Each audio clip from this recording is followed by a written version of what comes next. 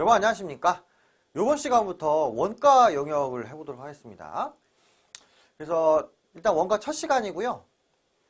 원가의 어떤 기본 흐름에 대해서 이야기 드리도록 하겠습니다. 어, 원가는 범위가 좀 작아요. 그렇기 때문에 재무회계보다 공부하시긴 수월할 건데 이제 계산 문제가 좀 많아요. 그래서 여러분들이 계산기를 이용해서 문제를 풀으셔야 될 겁니다. 어, 조금 짜증이 날 수가 있, 있습니다. 하지만 내용은 쉬우니까요. 일단 원가에서 고득점 하는 게 중요하지 않을까라는 생각이 듭니다. 제가 예전에 말씀드린 적 있죠, 그죠? 예. 일단 원가 기본 흐름인데요. 일단 기본 용어, 계산 숙, 구조, 숙지 좀 이렇게 보시고요. 원가를, 원가를 구분하는 여러 기준이 있어요. 그래서 그 여러 기준들에 대해서 어, 보시면 될 것 같습니다. 참고로 이 챕터 1이 제일 문제도 많고 내용도 많아요. 그래서 여기를 잘 정복하시는 게 어, 중요하지 않을까 싶습니다.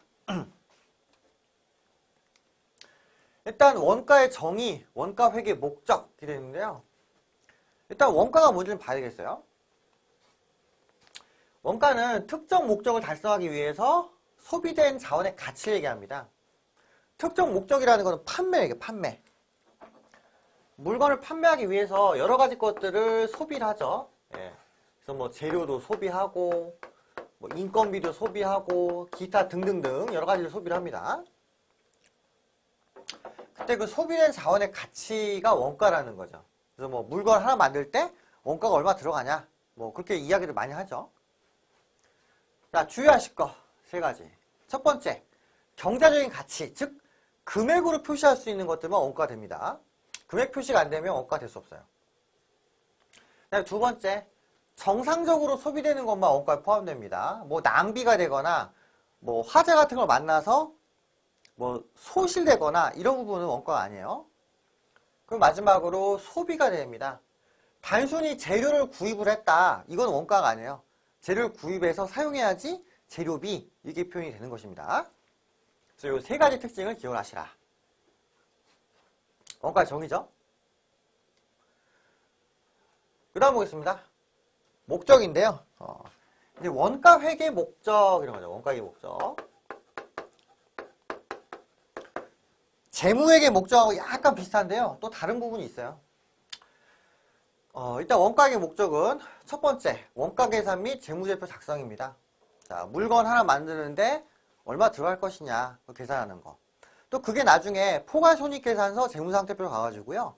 남아있는 재고가 얼마, 얼마냐, 그리고 팔린 게 얼마냐, 또 이렇게, 어, 판단이 될 수가 있습니다. 그 다음에 내부 이용자의 경제적 의사결정에 유용한 정보 제목이 되어 있죠. 내부 이용자.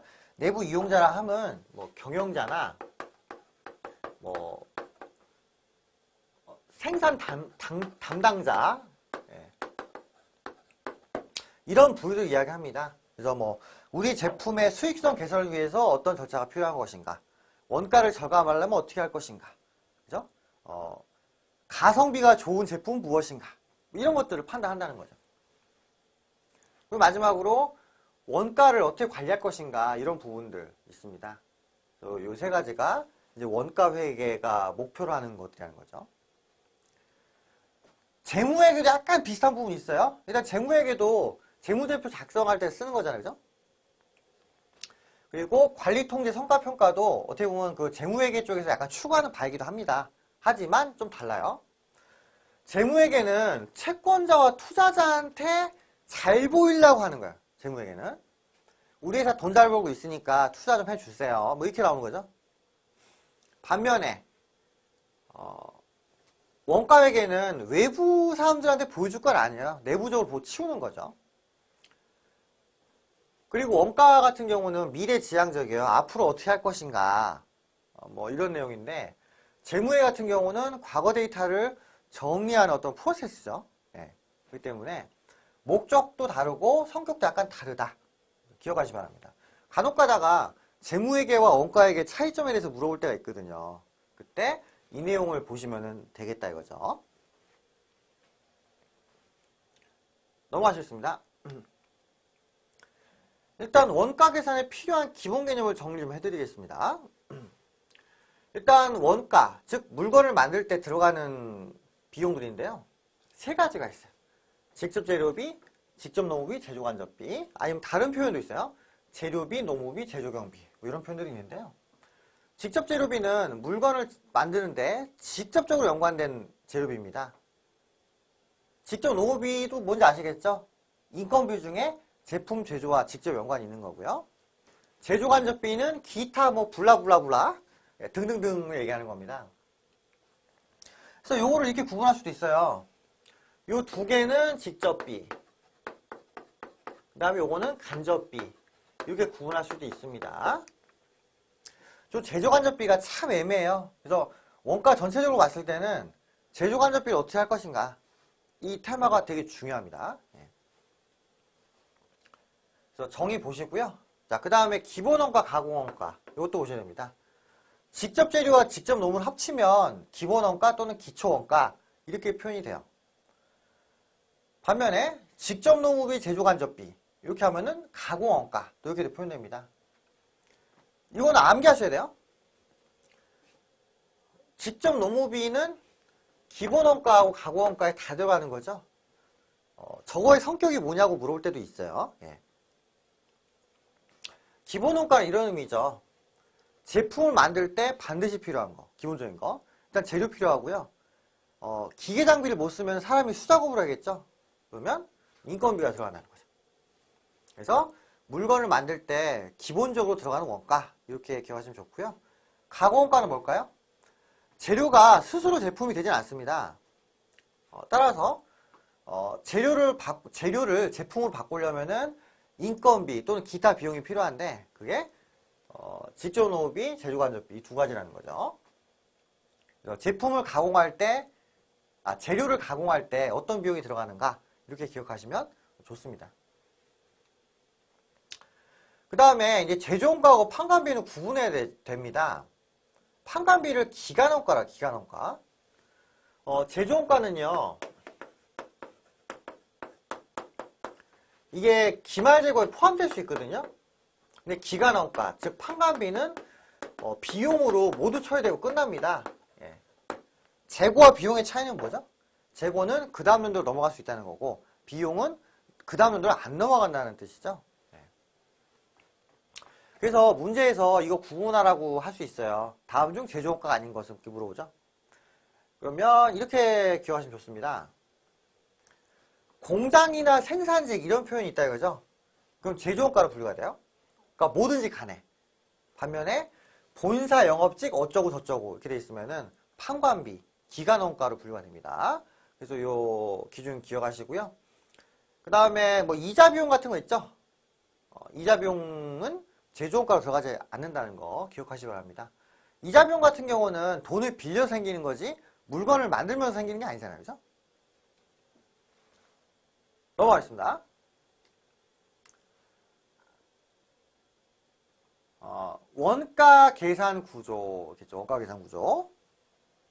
이게 이쪽 챕터의 핵심 포인트인데요.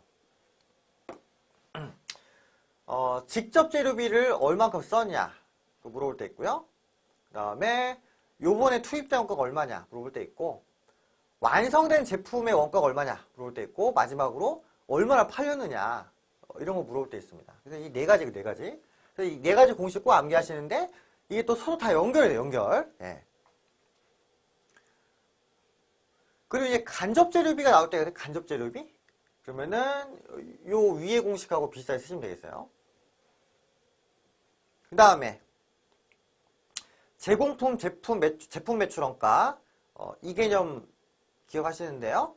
이거는 그 재무회계에서 공부했던 그 재고자산 쪽 있죠? 어, 그쪽 내용하고도 연결됩니다. 어, 제공품이라는 게 있는데 이건 미완성된 제품을 얘기를 해요. 그리고 제품이 있는데 제품은 완성된 제공품 이렇게 표현합니다. 매출원가는 팔리는 거죠. 따라서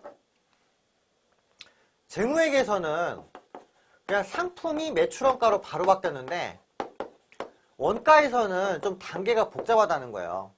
그래서 처음에 원재료가 있고 그 다음에 이게 제공품으로 갔다가 그 다음에 제품으로 갔다가 매출원가로 바뀐다는 거죠. 예. 예. 이렇게 달라진다는 거예요. 원가액에서는 이 프로세스를 공부하는 거죠. 요거 기억하시고, 요세 가지. 네. 그래서 이 공식을 좀 기억을 하시면 되는데요. 별건 없어요. 처음에 투입액 같은 경우는 이제 오- 요번에 산 거에다가 이제 전에 있던 거하고 요번에 남은 거 감안한다는 얘기- 얘기가 되겠어요. 그죠? 그래서 기초하고 단기 더하면은 이제 투입할 수 있는 게 되겠죠. 그죠? 어, 기말 재고는 투입 안 한 거니까 그거 빼면은 소비액이 나오고 소비액. 그리고 요번에 투입한 원가는 직접 재료 원가, 직접 노무 원가, 제조 간접 원가 이렇게 될 거고요. 단기 제품 제조원가의 경우 요번에 투입한 금액에서 완성이 안 됐던 거를 반영을 하는 겁니다. 전년도에 완성이 안 됐던 거는 올해 완성됐겠죠? 그리고 올해 완성 안 된 거 있을 거란 말이에요. 그거 빼면은 어, 제품 만드는 데 들어간 원가 나오는 거고요. 매출 원가는 요거 재고자 쪽에서 공부했었죠? 공식이 똑같습니다. 그래서 재, 재료, 제공품 제품 같은 경우는 기초 기말분을 어, 고려를 해야 한다는 거죠. 그리고 이제 원가항목 중에 선급액이랑 미지급액이 있을 수 있어요. 요거는 그 기말 결산분계 때그 수익 비용 기숙시 결정 있죠? 그 내용을 좀 기억하시면 쉬운데요. 어, 올해 돈을 제출했는데 다음 연도 또 다음 달 분이 포함되어 있다 이거죠. 그러면 요번 달 분 제외될 거 아니에요. 그죠? 요번 달 분에서 미리 지급된 거 제외겠죠? 그래서 단기 성급은 차가합니다. 그리고 그 부분이 시간이 지나가면은 지급되는 걸로 딱 맞게 나오겠죠? 따라서 전기 성급은, 어, 요번 비용에 포함시켜야 돼요. 그 부분이 있고. 자, 미지급 어때, 미지급? 어, 돈을 안 주지만 요번 비용 맞잖아요. 그 요번에 미지급된 거는 요번 비용에 더해야겠죠? 그게 시간이 지나가면 정리가 되니까 전기 미지급은 빼야 되는 거죠. 그죠? 네. 그래서 요 공식을 좀 기억을 하세요. 단기 것만 보면은 일단 이해되고요. 정기면 그러니까 시간이 지나가면 정기로 바뀌잖아요. 그죠?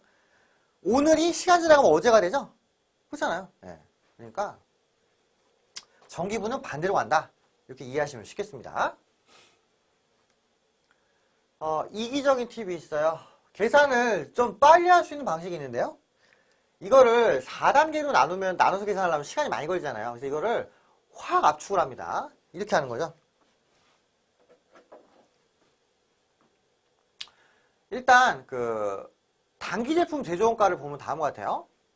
단기 제품 제조원가는 기초 제공품 더하기 어, 직접 재료비, 직접 노무비, 제조 간접비. 자 이게 더하는 거죠?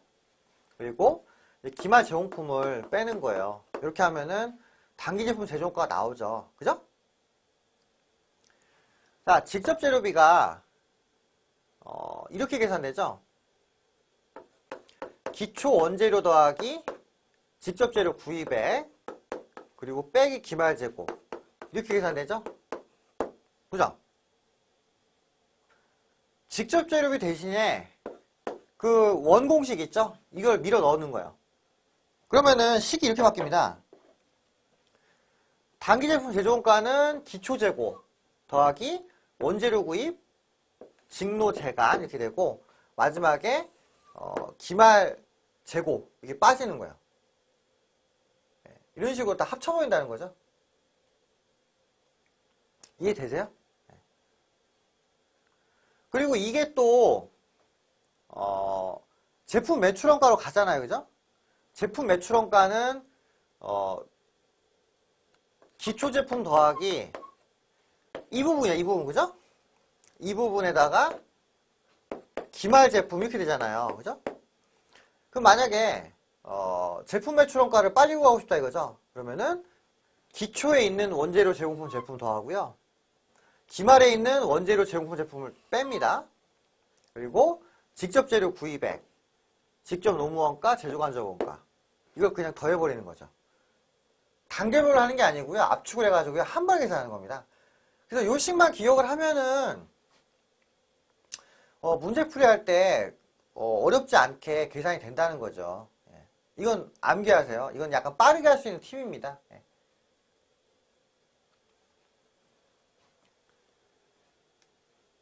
그래서 매출원가는 기초재고 더하기 원재료 구입에 기초노무 제조간접 빼기 기말재 이렇게 돼 있죠.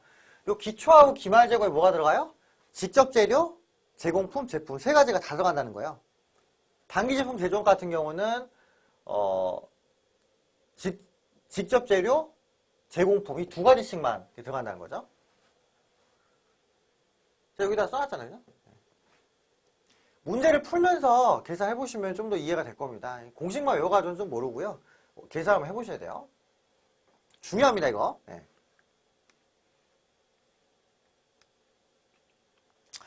그 다음에, 그, 원가 계산 흐름 및 예제인데요. 뭐, 일단 이런 붕괴가 있어요. 프로그램을 이용하면은 이런 붕괴가, 어, 생성이 돼요. 그리고 나중에 실기할 때도 좀 필요하니까 약간 보실 필요가 있는데, 일단 재료를 삽니다. 그죠? 그러면 차변에 원재료. 근데 직접 재료라고 표시하기도 해요. 이렇게 합니다. 재료 사고 돈 주고 이렇게 되는 거예요. 그리고 이걸 투입을 합니다. 그럼 이게 뭐가 되냐면 비용이 돼, 비용. 그리고 인건비 투입하고 기타 비용 다 투입을 한다는 거죠. 그러면은 이 세 가지가 단기 총 재료원가 된다는 거죠. 그죠? 구입액하고 사용액이 다를 수 있어요. 어, 재, 재고가 있으니까.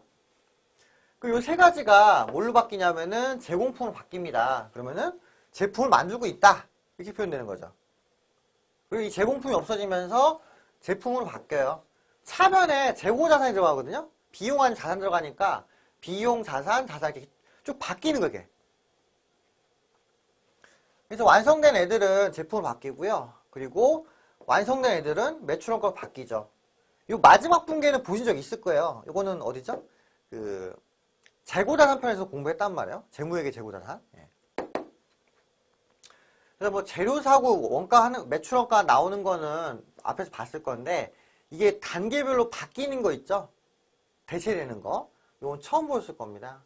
그래서 비용이 제공품으로 바뀌고 제공품이 제품으로 바뀌고 제품이 매출 원가로 바뀌는 이런 단계를 통해서 원가 계산이 이루어지고요. 이거를 이제 공식화 시킨 게 이거죠, 이거. 예. 어, 뭐 저희 객관식에서는 붕괴가 안 나오니까 매출원가를 구하시오, 단기 제품 제조가를 구하시오. 문제 이렇게 나옵니다. 아니면은 중간에 뭐 직접 농무 제조 간접비가 얼마인가 뭐 이렇게 나올 수도 있어요. 다양합니다. 네, 다양한데요.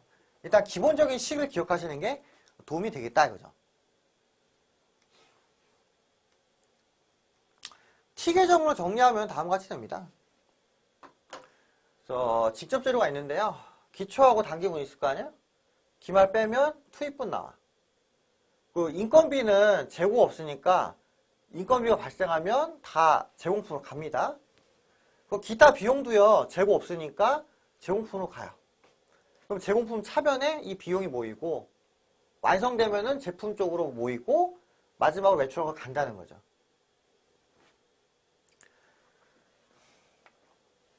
그래서 직접 재료, 제공품, 제품 이게 3단계로 나뉘는데요.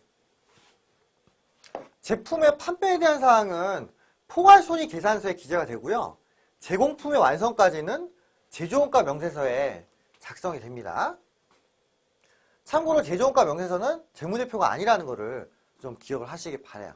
아시겠죠? 네. T 계정을 통해서 이렇게 한번 정리해 드렸습니다. 어, 요 붕괴가 정리가 되면 이렇게 된다는 거죠. 예, 이렇게 해서 원가의 기본 개념을 또 봤습니다. 약간 좀 축약된 부분이 있어요, 있는데, 또, 요 정도만 보셔도 객관식 푸는 지장이 없으니까, 제가 객관식 문제를 통해서 여러분들에게 추가적인 이야기를 또 드리도록 하겠습니다. 그래서 기본 공식 좀 암기하시고요. 반복을 좀 하시면 좋을 것 같아요. 아시겠죠? 예. 여기까지 하겠습니다. 자, 수고하셨고요. 다음 시간에 또 가겠습니다.